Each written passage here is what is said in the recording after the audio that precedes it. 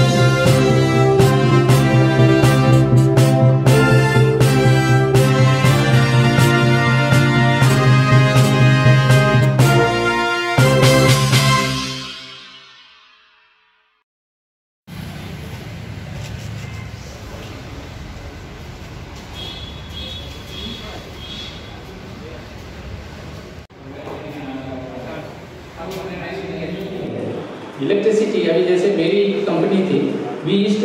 95 percent water in the process हमारा जो था, ये टिश्यू जो बनाते हैं फेशियल टिश्यू जो कहते हैं Kimberly Clark is the number one in the world okay वो टिश्यू जो बनाते हैं, वो लकड़ी से बनता है।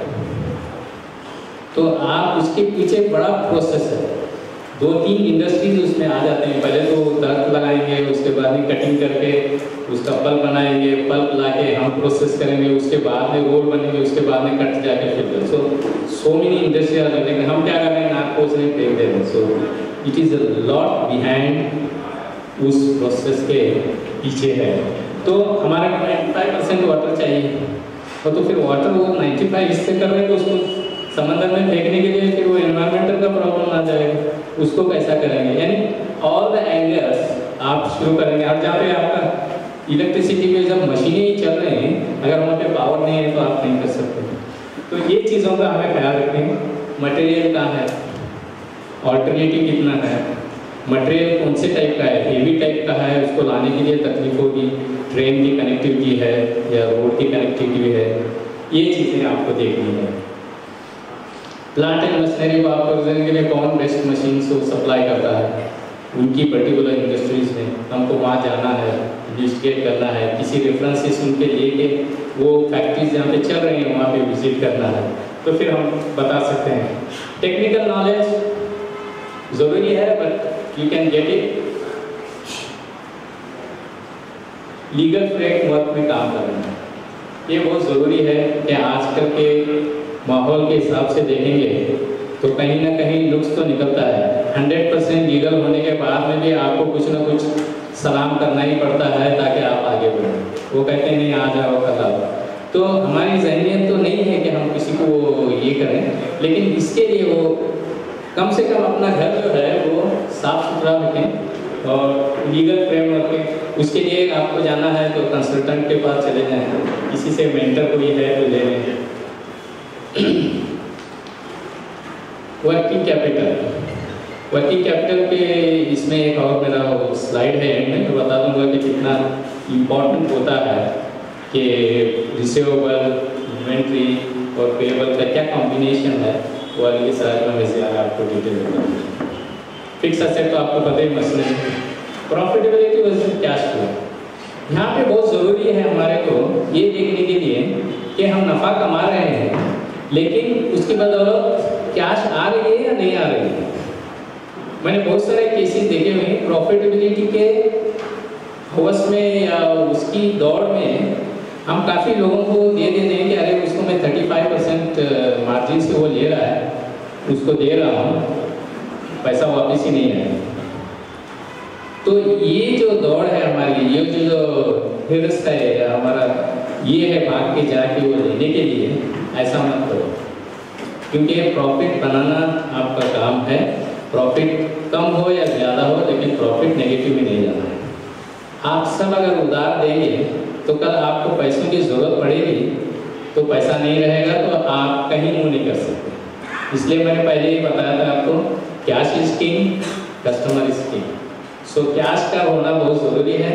मुझे अभी ये पता नहीं है कि हम सब लोग कितना वो अकाउंटिंग रखते हैं या कुछ ना कुछ तरह से कुछ रिकॉर्ड होते हैं, जिसमें ये पता चले कि भाई इतना खरीदी किए, इतना परचेज किए टू सम एक्सटेंट कि भाई हमारे को पता चले कि मतलब हम कहाँ स्पेंड कर रहे हैं और कुछ पैसा बच रहे हैं या नहीं बच रहे क्योंकि मेरे फादर ने दिया भाई कि भाई दो लाख रुपए तो दो लाख रुपए में मैं देख रहा हूँ, अरे चल रहा है, खा रहा है, मैं पी रहा हूँ, सब ठीक चल रहा है।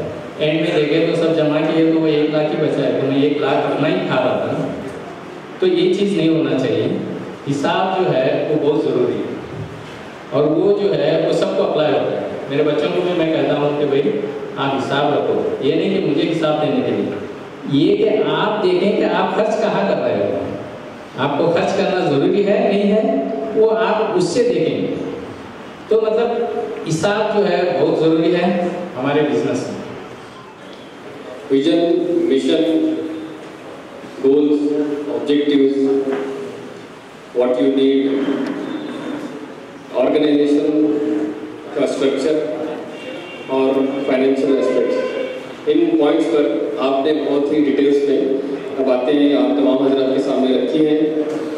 मुझे यकीन है कि इससे आपको बहुत ही ज़्यादा फ़ायदा होने वाला है।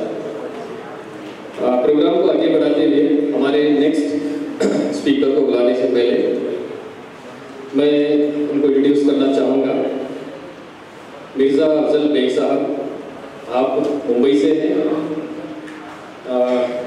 Founder CEO Litotech engineers LLP manufacturing food processing machineries since 1994 आपने 15 अलग अलग ममालिक में एक्सपोर्ट किया है और वहाँ पर विज़िट भी किया है इन बिज़नेस पर्पजेस के लिए।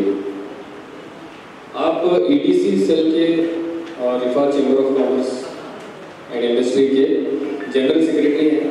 दिल्ली से आप तशरीफ़ लाए हैं। और मुंबई मेट्रो के आप जमात इस्लामी हिंद के ऑर्गेनाइजर हैं नाजिम हैं और ये आपने लगभग दो निकात यानी आठ साल से ज़्यादा आपने ये खिदमत अंजाम दी है। तो आप ज़ोर, जोरदार तालियों और प्लॉट्स के बीच मैं वेलकम करना चाहूँगा मिर्ज़ा अब्दुल बेग साहब हम लोग जो काम कर रहे हैं मिल्लत में मीशत के ताल्लुक से जैसे हमने बताया कि रिफा चैम्बर ऑफ़ कॉमर्स ये तो बाद में हमने उसको डेवलप किया। जब शुरू हुई थी स्कीम तो हल्के महाराष्ट्र ने जमासला में बहुत सी एक्टिविटीज़ कर दी है तो उसमें ये था कि मीशत में इकनॉमी के अंदर हमारा कोई रोल नहीं है। हम इस मुल्क कुछ दे नहीं रहे हैं। इकोनॉमी के अंदर हमारा तो कुछ तो भी होना चाहिए। क्या होना चाहिए? क्लियर नहीं था। तो एक शोबा बनाया गया ईडीसी एंटरप्रेन्योरशिप डेवलपमेंट सेल तो महाराष्ट्र के लेवल पर हमने तजर्बा किया। और फिर उसके बाद फिर चार साल करने के बाद में फिर मरकज ने डिसाइड किया कि भाई ये बहुत ज़रूरत है और हम उसको पैन इंडिया लॉन्च करना है। तो आज अलहमदिल्ला पिछले समझिए साढ़े तीन साल से पूरे हिंदुस्तान भर में सत्रह स्टेट्स पर कायम है, जिसमें कर्नाटका का चैप्टर कर्नाटका के अंदर आपके, अलहमदिल्ला सोलह सिटीज़ हैं, जिसमें बेलगाम एक है। तो ऐसे पूरा नेटवर्क हिंदुस्तान भर में है। अब जो मैं अभी पूरे हिंदुस्तान का दौरा कर रहा हूँ, कल हैदराबाद में भी था, पंजाब, पूरे हिंदुस्तान में, जो ओवरऑल चैलेंजेस जो है ना, मैं कुछ चीज़ें, दो चार पॉइंट्स में क्लियर करना चाहता हूँ। सबसे पहले, हम जो बिज़नेस कम्युनिटी हैं बिज़नेस के ताल्लुक से हमारा माइंडसेट जो है ना, ये इसमें बहुत इनकलाबी तब्दीली की ज़रूरत है। और वो तब्दीली के पहले एक एक स्टेप पीछे लौटना पड़ेगा कि हमारा मकसद जो है ना यहाँ पर, कि अल्लाह ताला ने हमको दुनिया में क्यों भेजा है। वो चीज़ें का एक महदूद तस्वुर हम लेके बैठे हैं, उस वजह सारे मसाइल आज हमारे पास आ रहे हैं। देखिए, अल्लाह इज़्ज़त ने जब इंसानों को दुनिया में भेजा, सबसे अशरफुल मखलूक़ात बनाया, और फिर ये मखलूक चैन, सुकून से रहे और गाइडेंस के लिए पैर दर पे रसूल भेजे, जो साइंस टेक्नोलॉजी आगे बढ़ रही है, उसको इग्नोर कर गए। उसको हमने असली तालीम का एक ब्रैकेट बना के किनारे फेंक दिया कि हमारा उसको ताल्लुक नहीं है। तो ये चीज़ जो है ना, ये इस वजह से हम पीछे रह गए हैं। देखिए, हमारे तालीमत में एक तरफ़ तो जैसे मैंने बताया कि अल्लाह ताला ने तो अशरफ बनाया है और रसूल भेजे हमारे सोशली सारी चीज़ों को बंदो खुदस करने करने के लिए। दूसरी तरफ़ अल्लाह ताला ने पूरी कायनात को हमारे लिए मुसखर कर दिया है। आप देखिए सूरज जासिया, आयत नंबर तेरह में अल्लाह ताला फरमाता है, वसखर लकुम मा फिस समावात व मा फिल अर्द जमीअन मिनहु वसखर लकुम, उसने तुम्हारे लिए मुसखर कर दिया। मा फिस समावात व मा फिल जो आसमान और ज़मीन में सब कुछ तुम्हारे मुसखर है। जमीअन मिनहु में सब कुछ उसकी तरफ़ से है तो इस्लाम में जो है, पूरी कायनात जो है, नेचर जो है, वो हमारे लिए अल्लाह का मुसखर किया हमारा कंपेनियन है। मगरब में क्या हुआ? ये कुचल के रख दिया गया था साइंस और टेक्नोलॉजी को कुचल के रख दिया गया था और आगे बढ़ने नहीं दिया जा रहा था। गैलीलियो ने कहा, दुनिया घूम तो उसको जेल में डाल दिया उसको कोई साइंटिस्ट आगे उभर ही नहीं पा रहे थे, जबकि इस्लाम ऐसा नहीं था। तो वेस्ट में क्या है? साइंस टेक्नोलॉजी ने मज़हब से बगावत करके बाहर निकली हुई इस्लाम में ऐसा नहीं है। इस्लाम में मामला ये है कि इस्लाम से पहले तो ये अरब कौम तो एकदम लिखना पढ़ना भी नहीं आता था, निपट जाहिल कौम थी, है ना? हुकूमत करने को अपने लाइब्रेरी समझते थे। वो पर्शिया वाले, ईरान वाले और रोमन्स, ये कहने को शर्म करके अरब जो हमारे अंडर में है, छोड़ देते कब्जा कर छोड़ देते थे। एक लाइब्रेरी थे। ऐसी कौम जिसको लोग हुकूमत करना पसंद नहीं करते थे उसको अल्लाह ताला ने इस्लाम के बाद पूरी दुनिया का हकीम बना दिया। तो वजह क्या थी? सिर्फ़ ये तालीमत नहीं थी, वो साइंस टेक्नोलॉजी में बहुत आगे थे।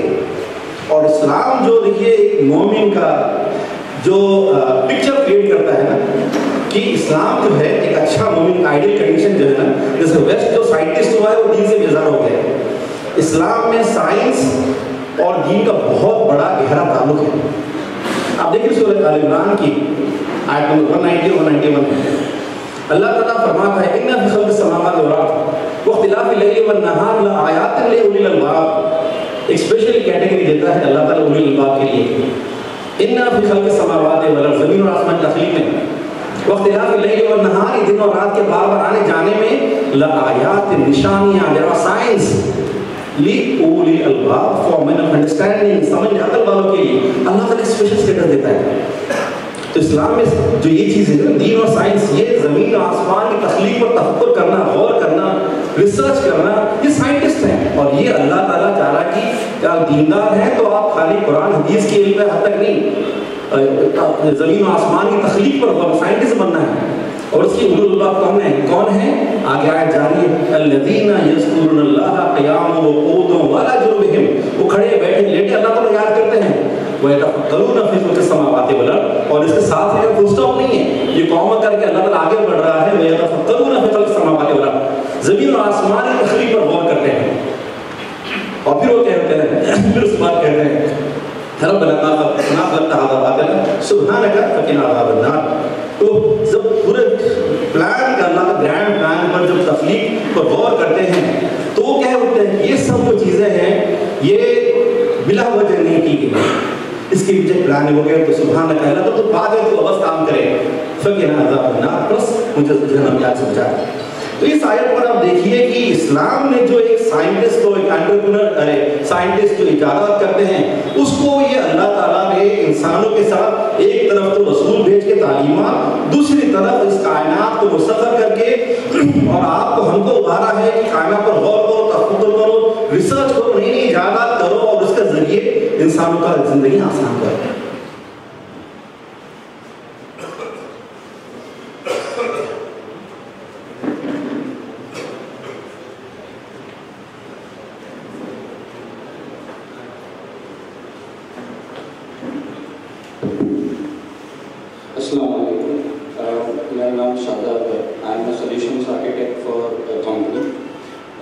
क्वेश्चन कि ह्यूमन फैक्टर अब आज आज का जितना भी सेशन हुआ है, उसके अंदर एक human factor that some day the energy of the person is handling the business high होती है, कभी कम होती है एंड और you business leader how do you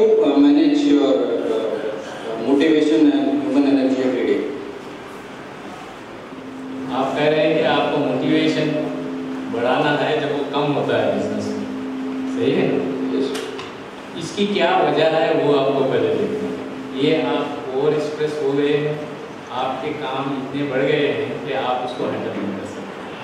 अगर आपका कारोबार बढ़ रहा है तो आप जैसे मैंने बताया मतलब कुछ चीज़ें हमारे पास जो हाथ में हैं, उनको छोड़ देना चाहिए।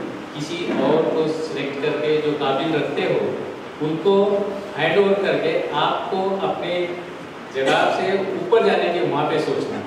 क्योंकि आप सब चीज़ें अपने पास रखोगे और उसको संभाल नहीं पाओगे दैट इज़ द टाइम आप स्ट्रेस और प्रेशर में आ जाओगे। तो उसका मोटिवेशनल ये है कि आई वॉट एवर आप जो होल्ड कर रहे हैं you have to let it go person के, वो उसको हैंडल कर सकें। तो आपका प्रेशर कम होगा और आप जो है, अपने सही मकसद के ऊपर जो है, ज़्यादा पहुँच थोड़ा सा इसमें जो अक्सर जब प्रोग्राम में बिज़नेस में जब होता है ना, आपको चैलेंजेस क्या है? एक्सपांड करो।